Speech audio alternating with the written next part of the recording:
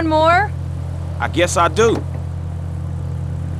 So, big favor. Can you take me to the top of Vinewood Hills? By the sign?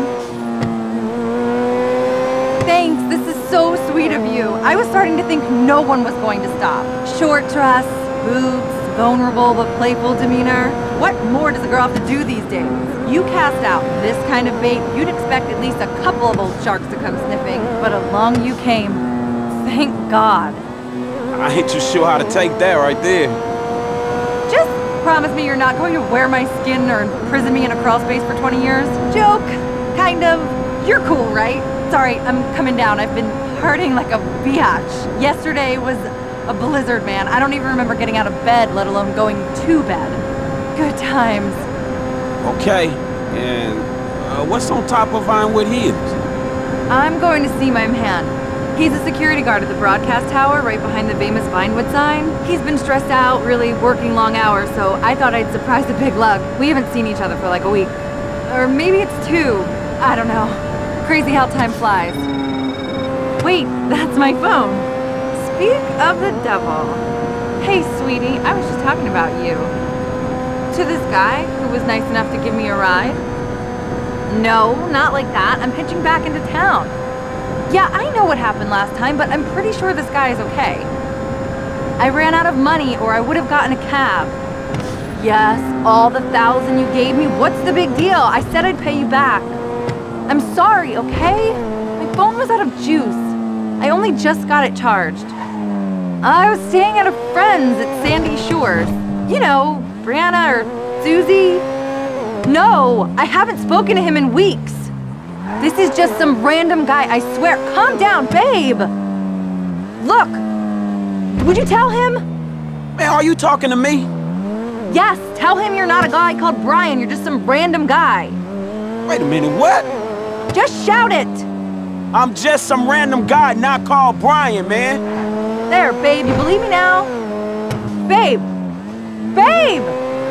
Shit, he hung up on me. Sorry about that.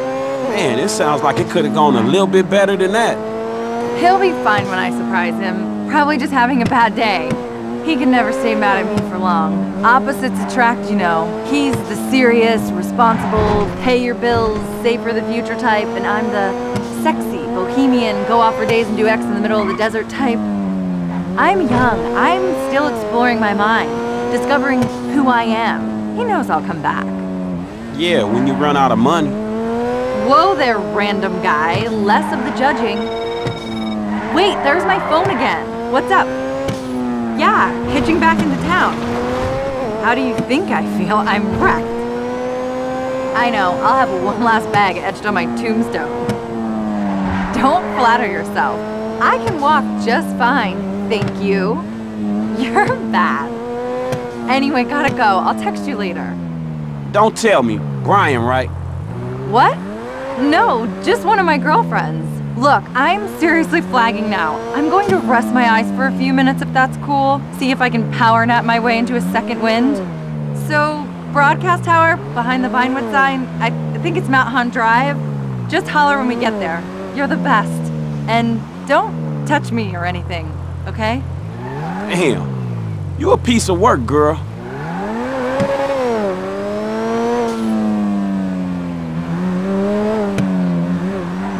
there he is. Hey, babe! Surprise! And who's this guy? What, no kiss? Hey, punk! What the hell do you think you're doing with my woman? Are you Brian? Calm down, I don't even know the guy. Stop, please! Don't do this! oh! Oh! Ah! What have you done to him, you psychopath?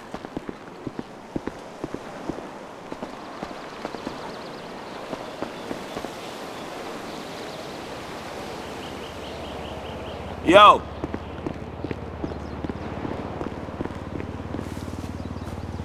Good night, old friend.